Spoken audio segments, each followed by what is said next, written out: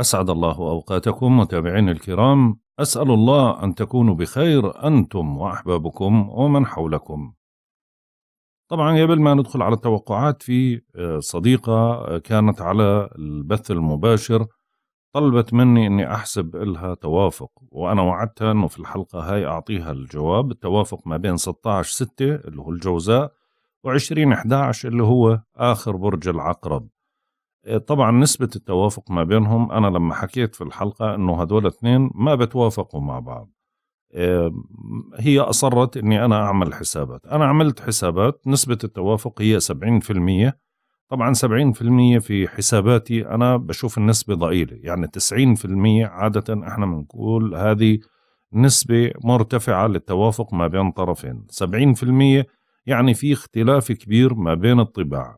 يعني طباع الشخصين فعشان هيك بتتطلب هاي الأمور تنازلات كثيرة عشان الحياة تستمر ما بينهم. اثنين لما اجيت اطلعت عليها هي لقيت إنه هو كوكبها كإنه عقرب ومجموع أرقامها بيطلع تسعة اللي هو المريخ يعني مريخ ومريخ زي ما حكيت أنا يومها إنه مريخ وعطارد كيف بدهم يركبوا مع بعض ما بيركبوا مع بعض. اتفاجأت أنا برضو لما حسبت تاريخ ميلاده أنه طلع أورانوس وأورانوس كمان مصيبة أكبر. فهذا آه، متقلب واثنين مزاجي وشغل مفاجآت وشغل أكشن يعني بمعنى آخر آه، متعب.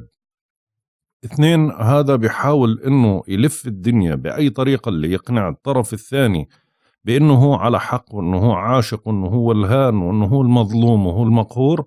وفي النهاية بتقلب بمزاجه وبعدين في النهاية بده الإشي اللي هو بده إياه يصير يعني بلف الدنيا بالآخر مثل ما بده هو حسب تقلب مزاجه على حسب وضعه هو.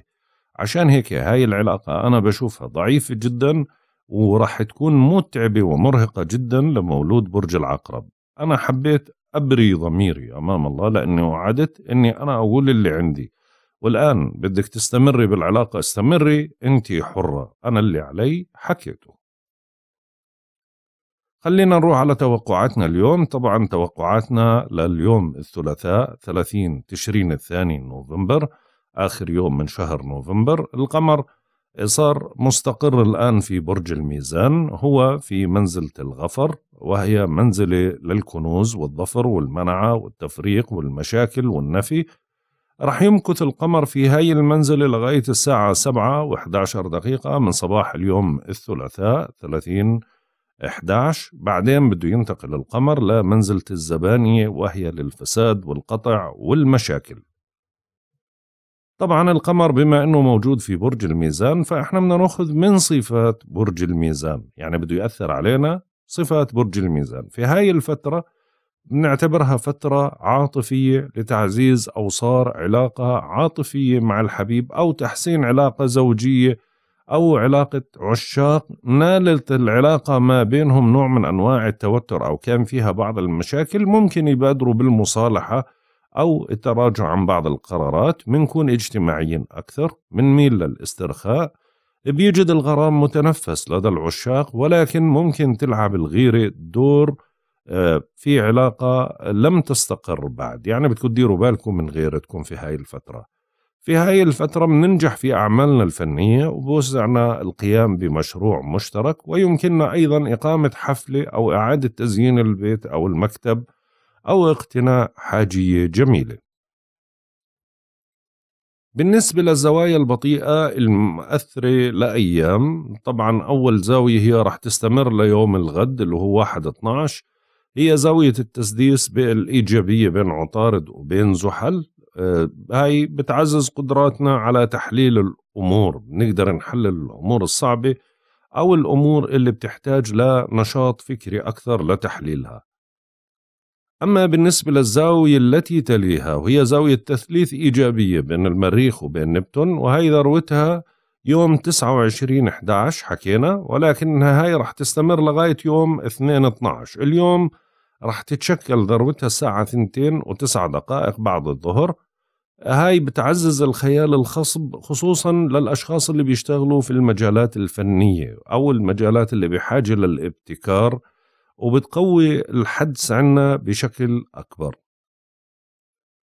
أما بالنسبة للزاوية التي تليها هي زاوية الاقتران الإيجابية بين الشمس وبين عطارد وهاي حكينا ذروتها آه، يوم 29 11 هي مستمرة لغاية 5 12 وبظل تأثيراتها موجودة. عند حدوث هذا الاتصال بتتعزز قدراتنا الفكرية وبتسهل علينا فهم مواضيع علمية صعبة وتعذر علينا فهمها بالفترة الماضية وبيزداد التوجه لإجراء اتصالات أو تنقلات أو سفريات ضرورية. يعني برضو النشاط الفكري عالي جدا بالفترة هاي خصوصا للطاقات الفكرية أو للإقناع للمناقشة للحوار للامتحانات فهي فترة ممتازة. أما بالنسبة للزاوية الأخيرة من الزوايا البطيئة المؤثرة المستمرة اللي هي زاوية الزهرة والمريخ اللي هي الزاوية المنفصلة هاي لغاية يوم 19-12 مستمرة بيسود جو عام من الود فبتسهل علينا التفاهم مع الآخرين وبرضه بتعزز العلاقات العاطفية الناجحة. أما بالنسبة للزوايا اللي اليوم راح تتشكل اليوم ذروتها أول طبعا بالنسبة لكل الأوقات اللي أنا بذكرها بتوقيت جرينتش الزاوية الأولى اللي راح اليوم برضو يكون لها تأثيرات بين القمر وبين زحل وهي زاوية تثليث راح تكون بعد منتصف هذه الليلة اللي هي موعد بث الحلقة اللي هي الساعة 12 و 23 دقيقة بعد منتصف الليل. بنصبح أكثر قدرة على تنظيم شؤوننا. ممكن اليوم نكون نشيطين أكثر وبتعزز لدينا الحس بالمسؤولية. أما بالنسبة للزاوية التي تليها وهي زاوية تسديس إيجابية بين عطارد وبين زحل وهاي حكينا عنها في الأيام الماضية هي ذروتها الساعة 7 و18 دقيقة صباحا. راح تستمر لغاية يوم 1 12 طبعا مستمرة هي بتعزز قدرتنا على تحليل الأمور. أما بالنسبة للزاوية التي تليها وهي زاوية تربيع سلبية بين القمر وبين الزهرة. وهاي رح تكون الساعة سبعة وخمسة وخمسين دقيقة مساء. بما أنه الساعة سبعة وخمسة وخمسين دقيقة مساء بتوقيت غرينتش معناته تأثيراتها من ساعات الصباح بتبلش. أكثر المتضررين هم اللي بيكون عندهم مشاكل عاطفية إذ بيتجهوا للتنفيس من خلال صرف النقود بإسراف دون حساب. أما بالنسبة للزاوية البطيئة أو في ضايل زاويتين بطيئات اليوم ذروتهم الزاوية الأولى زاوية تسديس إيجابية بين الزهرة وبين نبتون وهاي راح تتشكل الساعة 8 و45 دقيقة مساء طبعا تأثيرها طول اليوم. هاي راح تظلها مستمر تأثيراتها لغاية يوم 4 12 بتضفي علينا نوع من الجاذبية والقبول وبتجذب الآخرين لإلنا. أما بالنسبة للزاوية الأخرى البطيئة اللي برضو رح تتشكل اليوم هي زاوية تسديس إيجابية رح تكون بين الشمس وبين زحل. هاي رح تكون الساعة 11 و 13 دقيقة مساء. آه، طبعا برضو هاي مستمرة لغاية 4 12 هاي بتحسن قدرتنا على تنظيم شؤوننا وبرضو بتعطينا قدرة على تحمل المسؤولية. بالنسبة للأعضاء اللي في جسمنا اللي أكثر حساسية بتكون خلال هذا اليوم الكلى والحالب المثانة البولية الأوردة الجلد لأنه له علاقة باللمس اللي هي أعضاء اللمس الجلد البنكرياس الأنسولين آه، أسفل الظهر والزائد الدودية. عشان هيك هاي الأعضاء أصبحت أكثر حساسية بالفترة هاي لازم نوفر لها العناية الإضافية اللي بيعانوا من هاي الأعضاء عندهم أمراض فيها بدهم ينتبهوا لحالهم أكثر اللي بشعروا بأي أعراض لهاي الأعضاء لازم يراجعوا الطبيب عشان ينصرف لهم علاجات. طبعا إذا في عمليات جراحية لهاي الأعضاء طبعا ما ننصحش فيها اليوم. لباقي أعضاء الجسم ما في أي مشاكل. أما بالنسبة لعمليات التجميل بما أنه الجلد وحساسية الجلد فأنا ما بنصح اليوم عمليات التجميل مثل الحقن ولكن بنصح لعمليات الجراحة. هي مش مناسبة لإزالة الشعر لأنه ما بدنا إحنا الجلد يتحسس آه، وبرضه تصلح لقص الشعر التجميلي الصبغ ولا تصلح للقص العلاجي. أما بالنسبة لمطعوم كورونا فاليوم مناسب لهذا الأمر مع الأخذ بعين الاعتبار حبتين بنادول أو براستيمول كل ست ساعات لمدة ثلاث أيام. بالنسبة للقمر بما أنه موجود في برج الميزان معناته خلو المسار القادم رح يكون يوم الأربعاء يوم 1 12 بيبدأ في تمام الساعة 4 و19 دقيقة صباحا وبيستمر حتى تمام الساعة 11 و55 دقيقة ظهرا. لينتقل القمر لبرج العقرب. حكينا كل الأوقات اللي بنذكرها بتوقيت غرينتش. بالنسبة لعمر القمر عمر القمر انحسار الهلال 26 يوم في تمام الساعة 12 منتصف الليل بتصير نسبة الإضاءة 20% أما بالنسبة لمزاج الكواكب وطباع الكواكب لهذا اليوم الشمس في القوس حتى يوم 21 12 سعيد الآن هو بنسبة 85% ولكن في ساعات الصباح تنزل سعودته لنسبة 70%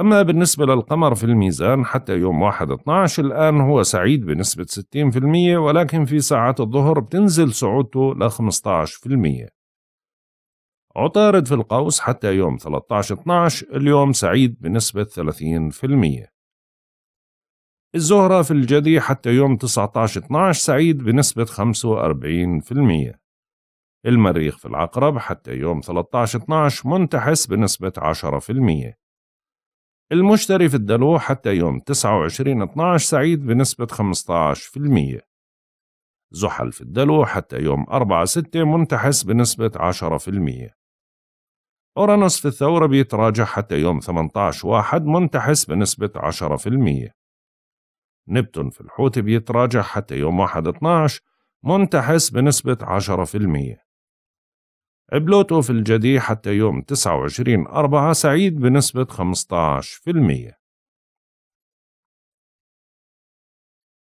وصلنا للتوقعات اليومية. برج الحمل. بما أنه القمر موجود مقابلك تماما في بيت الشراكة فاليوم مقسوم لقسمين. هو جيد للقيام بعمل مشترك واليوم بوسعكم توقيع عقد إتمام خطوبة أو زفاف أو تعزيز العلاقة ما بينكم وبين شركائكم أو مصالحة ما. ولكن في بعض التأثيرات السلبية لأنه طاقتكم بتكون ضعيفة فعشان هيك حاول أنك ما ترتجل المواقف تجنب الانتقادات وخصوصا في مجال العمل ابعد عن المشاكل قدر الإمكان. اليوم ممكن تظهر بعض المتاعب اللي إلها علاقة إما بالعائلة أو إلها علاقة بالمهنة. برج الثور. القمر صار في البيت السادس يعني بيت العمل وبيت الصحة. فعشان هيك اليوم بدكم تتوقعوا أن العمل رح يتراكم عندكم فلازم تصحوا بكير على أساس أنه تنجزوا أعمالكم من الصباح الباكر. حاولوا تخلوا علاقاتكم مع زملائكم بالعمل جيدة لأنه إذا كانت العلاقة جيدة معناته ممكن يكون في نوع من أنواع التعامل أو التعاون ما بينكم وبين الزملاء. بتقدروا اليوم تمارسوا نشاط بدني آه، للمحافظة على لياقتكم أو المشي أو أي شيء له علاقة بالحركة. أهم شيء زي ما حكينا تباكر لعملك ما تلتهي انشغالات كثيرة. وممكن ما تنجح في إتمام كل أعمالك. بدك تنظم وقتك وحاول إنك ما تقصر. إن شعرت بشيء غير اعتيادي برضو؟ راجع طبيبك. برج الجوزاء. طبعا اليوم القمر في البيت الخامس يعني بيت الحظوظ بالنسبة لإلك. فعشان هيك اليوم تشتد رغبتكم في التقرب من أحبائكم وتعزيز العلاقة معهم. هذا يوم مناسب لممارسة نشاط فني أو أدبي وهي فترة استثنائية ورائعة. بيبتسم لك الحظ وبتكون فرحتك في هذا اليوم كبيرة لأنه رح تتمم كثير من الأعمال. ممكن تهتم لاستعادة موقعك وممكن تتحمس اليوم للبدء بتنفيذ مشروع طال انتظاره. اليوم بحمل لك انفراج وبحمل لك خبر سار وبرضه اليوم زي ما حكينا هو من الأيام المميزة اللي من المفروض إنك ما تضيع هذا اليوم من إيدك. برج السرطان. بتحتل الأمور البيتية والعائلية القسط الأكبر من تفكيركم لأنه القمر موجود في بيت البيت والعائلة فعشان هيك اليوم الاهتمامات كلها اجتماعية عائلية بيتية. مو بوسع كل يوم التفاهم وتعزيز العلاقة مع أفراد العائلة.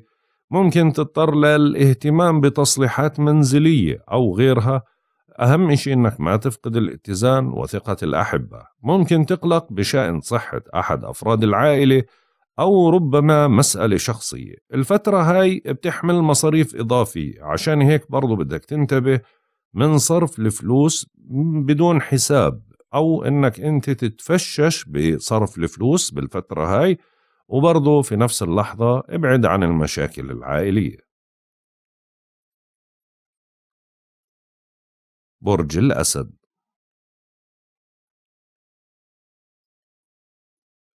طبعا اليوم النشاط عالي جدا عندكم اليوم راح تبدعوا بالإتصالات بالحوارات بتنشطوا في الدراسة بالسفر بالاتصالات على أنواعها. اليوم بوسعكم اجتياز امتحان ممكن اليوم تعززوا العلاقة مع أخ أو جار. اليوم تقدر تستوعب كل الظروف وتتكيف معها بسهولة. إن هاي فترة نعتبرها إحنا فترة تواصل بناءة مع الآخرين قدرتك على الإقناع عالية نشاطك الذهني ممتاز جدا. وهذا الإشي بيسمح لك للمنافسة القوية. أهم إشي إنك اليوم ما تضيع الفرصة وحاول إنك اليوم تستمتع بهاي الطاقة الإيجابية الموجودة. برج العذراء. ثم فرصة لمكسب مالي بيكون على الأغلب من عمل إضافي. منكم أشخاص ممكن يحصلوا على هدية أو على جائزة بتتركز الأمور كلها على الأمور المالية. ممكن شوي بعض الأشخاص يكون عندهم قلق من مصاريف طبية استشفائية بعض الالتزامات المالية. أهم شيء إن اليوم إنك تناقش العقود والمعاملات الإدارية بتأني وحاول إنك تدقق بالتفاصيل. اليوم ممكن شوي تحتاج مساعدة أحد الأشخاص أو تقوم بمبادرة خيرة. فعشان هيك أهم شيء تنتبه لمصاريفك وتنتبه لفلوسك. ما في داعي لا للمجازفات ولا للمغامرات. برج الميزان. ثقتكم بأنفسكم كبيرة واليوم بتنجحوا بالدفع بمصالحكم في أي مجال. شعبيتكم اليوم في تصاعد هاي الفترة بتحمل إنجاز أو تطور لافت. أهم شيء إنك ما تهملها. إذا كان في أمور كانت صعبة عليك في الأيام الماضية اليوم كرر المحاولة فممكن تتممها. ممكن يبتسم لك الحظ. ممكن تنبسط أو تسعد أو تهنأ باستعادة موقعك وتتحمس للبدء بتنفيذ مشروع طال انتظاره. يعني فترة إيجابية برضو طاقتها عالية وحلوة بالنسبة لإلك فحاول برضو أنك تستغلها. برج العقرب. طبعا القمر موجود في بيت المتاعب فعشان هيك هذا لا يعتبر يوم سعدكم آخر يوم فبدكم تتحملوه قدر الإمكان. التعب راح يضل مسيطر عليكم الملل نوع من أنواع القلق التوتر. حاولوا انكم تخلدوا للراحة وحاولوا فقط إنجاز ما بوسعكم من عمل عاجل. بسود سوء من التفاهم ممكن من تصرف من كلمة من من أي انتقاد ممكن ما حدا يفهم عليك. فعشان هيك بدك تكون حذر من هاي النقطة. اليوم بتخف وتيرتك تشعر بالملل أو بال بأنك بحاجة لنوع من أنواع التغيير. فممكن تتأخر بعض المعاملات أو تلغى أو ترغب في الابتعاد عن الأجواء الصاخبة. بتحب الأجواء اللي فيها هدوء أكثر لأنه هاي فترة سلبية شوية طاقة بتكون فيها ضعيفة. برج القوس بتنشطوا اجتماعيا وبتسعدوا من لقاء الأصدقاء وتعاونهم معكم. الأجواء جيدة على المستوى الاجتماعي. منكم أشخاص ممكن يتلقوا دعوة لحضور حفل أو مناسبة سعيدة. أهم شيء إنكم تتجنبوا العناد وتحاولوا إنكم تكونوا أكثر انفتاحا على آراء ومواقف الآخرين وما تحاولوا تتحكموا في أصدقائكم أو تفرضوا سلطتكم عليهم. حاولوا إنكم ما تتكاسلوا وبادروا لتصحيح الأخطاء واستعادة موقعك. ما بيناسبك البقاء وحيد. اليوم لازم تنطلق اجتماعيا لأنه اليوم كل مكاسبك هي رح تكون من علاقاتك ومعارفك وأصدقائك وفي منكم ممكن يتوجه له دعوة لحضور حفلة أو مناسبة وتكون فيها أشياء مناسبة لإلكم. برج الجدي يوم جيد للأشخاص اللي بيبحثوا عن عمل أو بيرغبوا بإدخال تغيير على طبيعتهم أو على طبيعة عملهم. اليوم ممكن ينتبه لكم شوي المسؤولين عنكم ويقدروا جهودكم. أهم شيء إنكم تقدموا أفضل ما لديكم وحاولوا إنكم ما تتهربوا من المسؤوليات الموكلة لكم أو من أداء الواجب لأنك ممكن تضر بمصالحك. يعتبر هذا بيت السمعة يا إما اليوم تكافئ على أعمالك وعلى الأشياء اللي بتعملها يا اليوم أنت بتشوه سمعتك وتلام على كل شيء أنت بتعمله. ففي مثل هذا اليوم لا يجوز إنك تغامر أو تجازف أو تتهور بأي تصرف. عشان هيك بدك تستثمر كل فرصة جيدة لمصلحتك استغلها عشان يكون فيها نوع من أنواع التكريم. برج الدلو بتنشطوا في مجال السفر والاتصالات البعيدة واليوم مناسب لإجراء مقابلة أو اجتياز امتحان. طبعا هذا يعتبر بيت قوي جدا بالنسبة لكم على كل شيء له علاقة بخارج البلاد أو الأجانب. وبرضه الأمور اللي لها علاقة بالاستيراد والتصدير القضايا القضائية الامتحانات المناقشات العلمية. القضاء الأوراق الهجرة كلها هاي أجواء ممتازة لإلكم تقدروا أنكم تتمموا أي شيء له علاقة بهاي المواضيع. أهم شيء أنك ما تستسلم من أول عقبة. حاول أنك تكرر المحاولة وثابر حتى تصل لهدفك. تعتبر هاي أفضل أيام الشهر وبترتفع حظوظك فيها ربما بعضكم يقوم برحلة أو يشارك في احتفال أو ممكن تناقش مواضيع تكافئ عليها. برج الحوت.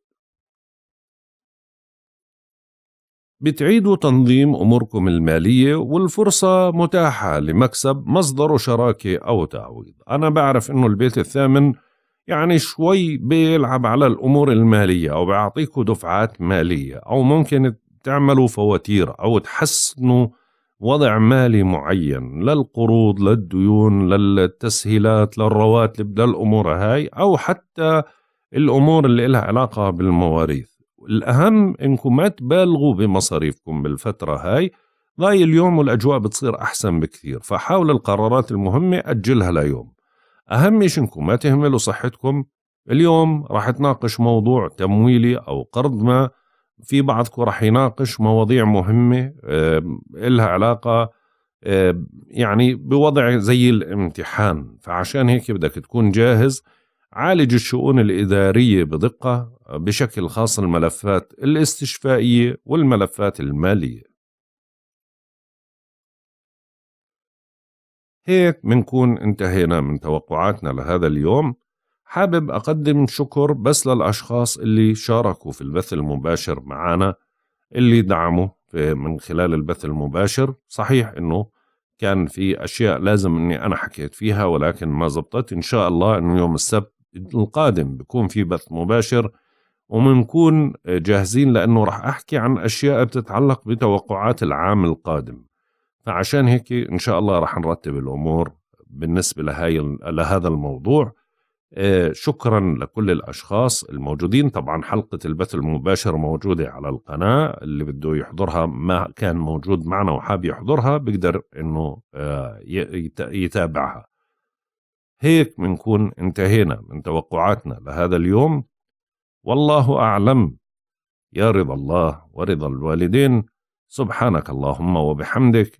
أشهد أن لا إله إلا أنت. أستغفرك وأتوب إليك. أترككم في رعاية الله وحفظه. إلى اللقاء.